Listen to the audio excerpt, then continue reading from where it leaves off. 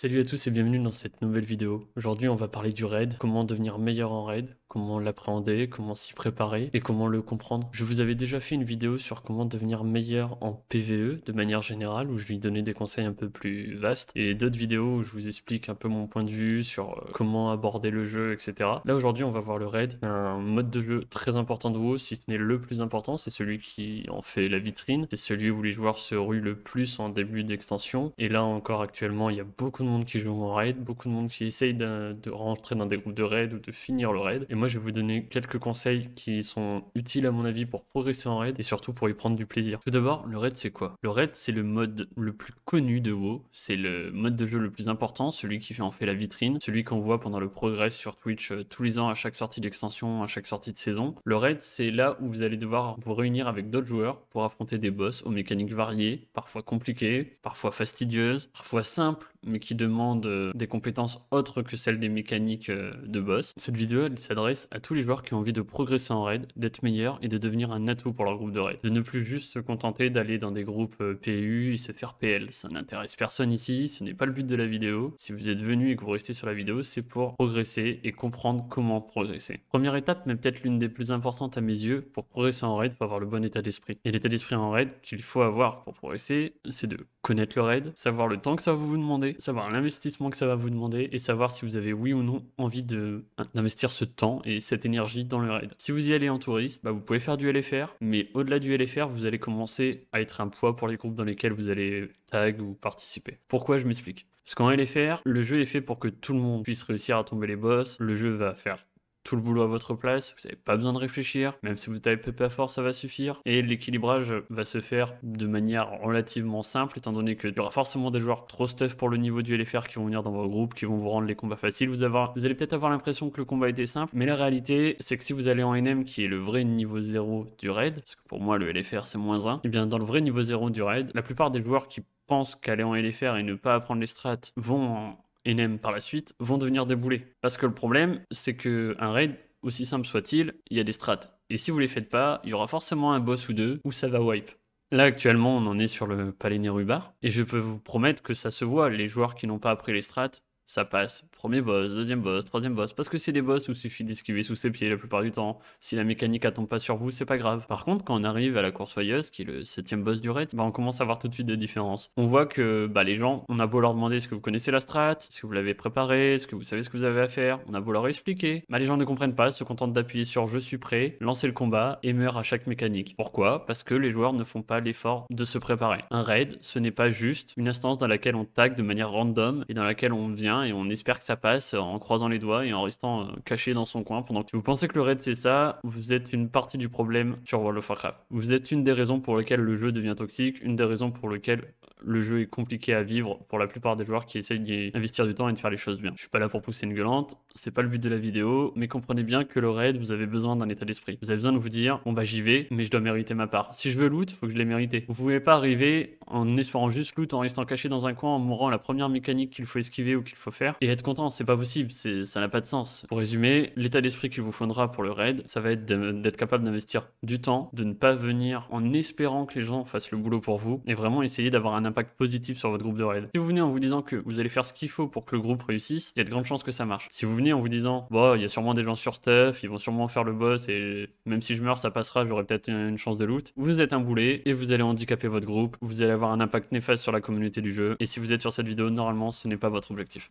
Deuxième chose très importante, pour progresser en raid, c'est important de connaître ses objectifs, de savoir ce que vous visez. Moi, là, je m'adresse à ceux qui ont envie de tryhard, comme j'ai déjà dit dans d'autres vidéos. Moi, j'adore ça, j'ai envie de tryhard, j'ai envie de progresser sur le jeu. Après, c'est important de savoir jusque où vous voulez progresser. Est-ce que vous visez le clear HM Est-ce que vous visez le clear NM Est-ce que vous visez juste de découvrir le HM Ou peut-être même de découvrir le mythique? Pourquoi pas? Si vous êtes vraiment des gros joueurs et que vous avez du temps devant vous, peu importe ce que vous visez, faut que vous vous mettiez d'accord avec vous-même avant de partir dans, une saison ou dans une session. Ça peut évoluer au fur et à mesure, il n'y a pas de souci. Mais ce que je veux dire par là, c'est que ne partez pas en raid HM sur un coup de tête. Genre, ne vous dites pas, bon, bah, je vais tag en HM alors que j'ai fait deux boss en NM. Non, c'est pas possible. Vous allez tag en HM si vous avez fait deux boss en NM, vous allez vous faire rouler dessus, ça va se voir, vous allez servir à rien, et vous allez encourager les gens à devenir de plus en plus exigeants sur leur recrutement quand ils créent des groupes. Dans la recherche, ça devait devenir encore plus une horreur de trouver un groupe qui nous accepte, même quand on le mérite et même quand on a l'XP nécessaire pour avancer. Genre, fixez-vous des objectifs et donnez-vous les moyens de réussir. Si vous voulez aller en raid HM, et eh bah ben, prenez le temps d'apprendre les strats,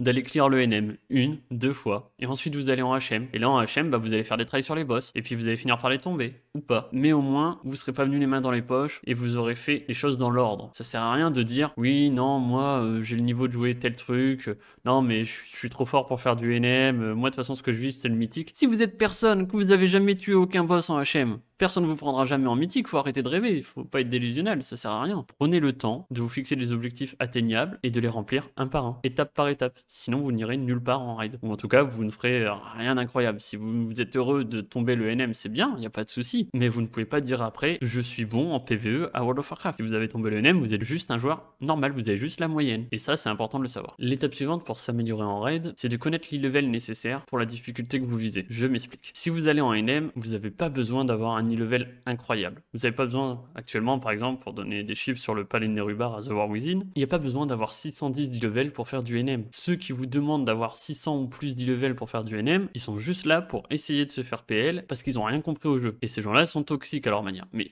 c'est d'un autre débat. Pour faire du NM, actuellement, honnêtement, je pense que pour la plupart des rôles, à part peut-être soigneur, si vous avez 570, 575 e-level, c'est largement suffisant pour tomber du NM. Il n'y a pas besoin de plus. Si vous pensez qu'il y a besoin de plus, c'est juste que les gens avec qui vous jouez soit ne maîtrisent pas leur classe, soit vous, vous ne maîtrisez pas votre classe, et du coup, vos résultats avec votre e-level ne sont pas concordants avec ce qu'ils devraient être. Mais c'est pas un problème d'e-level. C'est pareil. on voit trop souvent, et ça, ça, ça me saoule, donc je suis obligé d'en parler. On voit trop souvent des gens dire il n'y a pas assez de DPS, il n'y a pas assez de heal, les tanks sont trop fragiles, nanani, nanana. En raid, ces arguments-là n'ont de la valeur qu'une fois que la mécanique du combat est faite à la perfection. Tant que votre boss n'est pas parfaitement clean, ou du moins les mécaniques importantes ne sont pas parfaitement clean, vous n'avez aucun droit de blâmer un DPS ou de blâmer un heal. Pourquoi? Parce que dans 99% du temps, surtout en NM, on se rend compte qu'avec des DPS qui sont bien en dessous de ce qui devrait être en fonction de leur level, les boss tombent quand les mécaniques sont faites. C'est juste que les gens vont en raid en espérant tomber tous les boss du premier coup, mais c'est pas ça du raid. Le raid c'est pas du one shot. Si vous faites du one shot, c'est que le raid est mal équilibré, comprenez-le bien. Un raid ce n'est pas censé être du one shot. Et ça aussi, il faut que je revienne dessus. C'est normal de wipe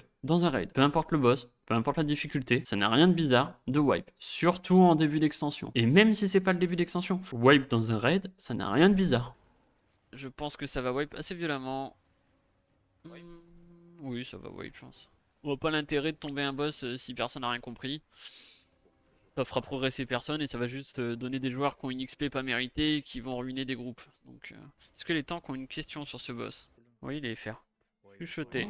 Ça fait partie du mode de jeu, c'est l'essence même du raid. C'est ce qui rend le raid agréable et gratifiant quand vous tombez des boss. Si vous tombez tous les boss du premier coup, il est où l'intérêt? Dans ce cas-là, acheter, acheter une version craquée du jeu où vous êtes full stuff et vous avez rien fait, bah c'est cool. Au bout de deux jours, vous avez désinstallé le jeu. L'objectif, c'est de prendre le temps, de faire des wipes, de progresser, et une fois qu'on a réussi, on se rend compte du chemin qu'on a parcouru. C'est ça le raid en fait. Enfin, moi en tout cas, c'est comme ça que je le vois et je pense que je suis pas le seul à le voir comme ça. C'est normal de wipe en raid. Je le répète parce qu'il y a trop de gens qui l'ont oublié, il y a trop de gens qui ne comprennent pas qu'on ne doit pas blâmer quelqu'un parce qu'il a fait une erreur. On peut lui demander s'il a compris à la limite. Si l'erreur se reproduit, on peut lui dire bon bah écoute, là il aurait mieux fallu que tu fasses ci ou que tu fasses ça. Est-ce que ça va? Est-ce que t'es perdu? Est-ce que tu t'en sors? On peut poser des questions. Mais on ne doit pas blâmer quelqu'un après un wipe. Si vous voulez faire des, runs one shot, vas-y faites-le. Faites des tags euh, sur vos recherches de groupe, euh, de raid en mettant euh, only one shot, etc. Pas de souci, les gens seront prévenus et les gens n'auront pas d'excuses. Par contre, vous ne pouvez pas attendre de tout le monde quand vous créez un groupe ou quand vous rejoignez un groupe qu'il n'y ait aucune erreur, c'est pas possible. Le raid, c'est en moyenne 20-25 joueurs réunis sur un seul boss. Évidemment que sur 20 ou 25 joueurs, la probabilité que quelqu'un fasse une erreur, elle est élevée. Mais c'est normal, ça fait partie du mode de jeu, c'est pour ça qu'il a été inventé. Donc s'il vous plaît, normalisez le wipe, parce que c'est fatigant de voir des gens toxiques dès qu'il y a le moindre wipe. Des gens qui livrent des groupes après un wipe parce que ça va pas assez vite pour eux. Ces gens-là, est-ce qu'ils ont réfléchi deux secondes avant de quitter leur groupe? Le temps qu'ils vont mettre à quitter leur groupe, à retrouver un, à relancer un try, peut-être que le boss sera tombé dans le premier groupe dans lequel ils étaient où ils ont quitté. Alors, soyez un peu logique et apprenez à être patient.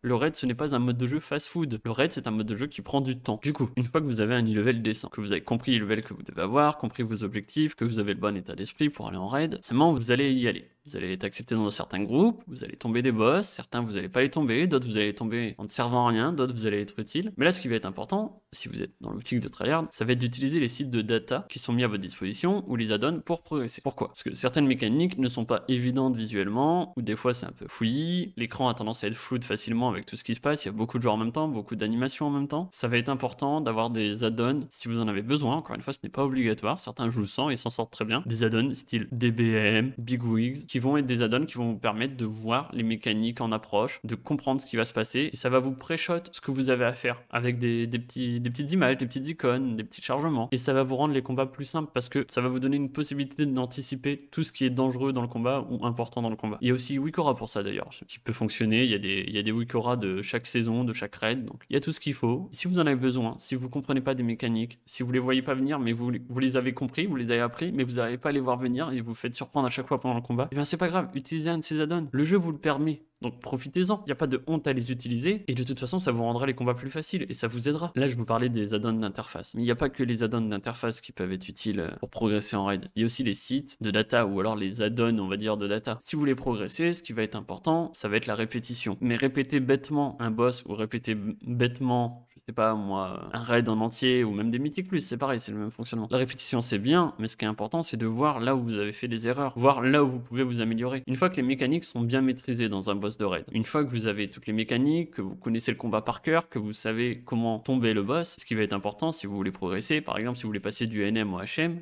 Imaginons que vous tombez sur un boss qui est compliqué. Ce qui va être important, ça va être de maximiser ses dégâts, maximiser son uptime, maximiser son healing, son tanking, etc.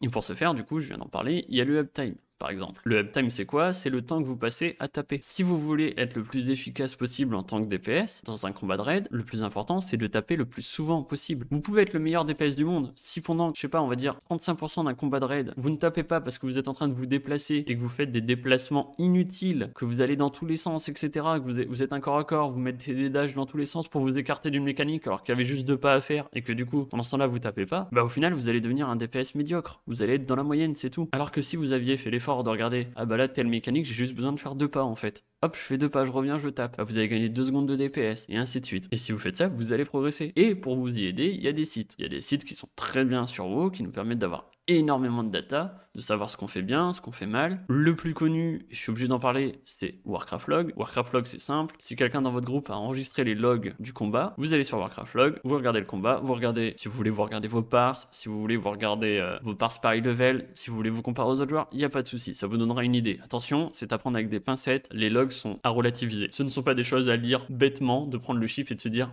ah bah j'ai 25 euh, de parts, je suis nul. Non, c'est pas comme ça que ça marche les parts. Il y a plein d'éléments à prendre en compte. Il faut connaître aussi le fait que la plupart des gens qui réussissent à faire des bonnes parts font en sorte de le réussir. J'entends par là qu'ils sont des groupes préparés et dédiés à leurs résultats de parts parce que c'est un, ça fait partie du jeu. Il y, a des gens qui font ça et qui, dont c'est le, le, kiff sur WoW. Donc voilà, les parts c'est une ordre d'idée. Ça vous permettra de, de voir un peu où vous en êtes. Mais Warcraft Log c'est pas que ça. Comme je vous disais tout à l'heure, il y a le uptime. Vous pouvez le trouver sur Warcraft Log. Quand vous êtes un tank, par exemple, vous pouvez voir la proportion de dégâts mitigés grâce à Warcraft Log. Tout ça, c'est important pour progresser. Parce que si vous allez juste tomber un boss, vous dire bon bah j'ai fait euh, tant de dégâts, j'ai fait je sais pas 600k en moyenne sur le combat, 604 DPS overall sur le combat, bon bah je vais regarder, ah euh, bah je suis troisième DPS de ma guilde, bon bah c'est pas grave, je recommencerai, puis je ferai 600k, au mieux j'aurai un peu plus de level, je ferai allez 650k, 700k. Oui mais non, parce qu'en fait si vous faisiez l'effort d'aller voir vos logs, d'aller regarder ce que vous avez fait de bien, ce que vous avez fait de mal, vous allez vous rendre compte peut-être bah ah mince j'ai un uptime à 75% alors que mon mate euh, qui du coup est pas censé avoir une classe qui tape autant ou pas censé avoir 10 levels que moi, autant 10 levels que moi, bah lui, euh,